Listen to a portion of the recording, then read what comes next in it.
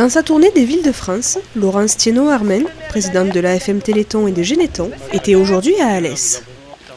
Après visite de l'école des mines et de l'Institut des châtaigniers, la présidente a été reçue en mairie d'Alès avant de retourner à l'école des mines animer une conférence, le débat des parents, la vie des enfants, un accélérateur pour guérir. On sait qu'elle est très prise, elle donne beaucoup de conférences et donc c'est pas évident de, de pouvoir trouver un temps libre.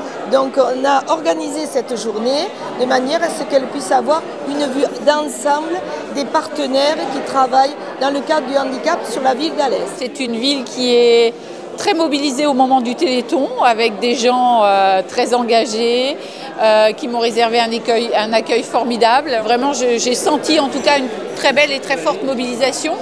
Et pour moi, c'est important euh, de venir à la rencontre des bénévoles pour les remercier parce qu'ils font un travail magnifique, euh, un travail de l'ombre, euh, un travail euh, qui dure pendant des semaines, parfois pendant des mois. et ils contribuent à cette formidable chaîne humaine, à cette aventure humaine assez exceptionnelle qu'est le Téléthon. Et donc tous les ans, de la mi-septembre jusqu'à fin novembre, je fais un peu le tour de France. Je vais dans une quinzaine de régions différentes. Et pour votre grande et belle région, j'ai choisi Alès. Le Téléthon cette année se déroulera les 6 et 7 décembre.